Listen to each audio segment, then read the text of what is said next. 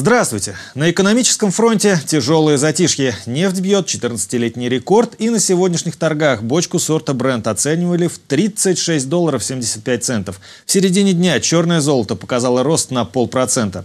Центробанк снизил курс доллара США на 7 копеек, установив его на отметке 71 рубль 25 копеек.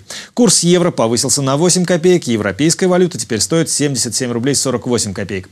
В Самарской области на прошедшей неделе продолжился рост цен на овощи и куриные яйца. В понедельник отмечено снижение цен на топливо. Кстати, депутаты поддержали идею продлить программу материнского капитала на два года. У меня на этом все. Удачи в делах.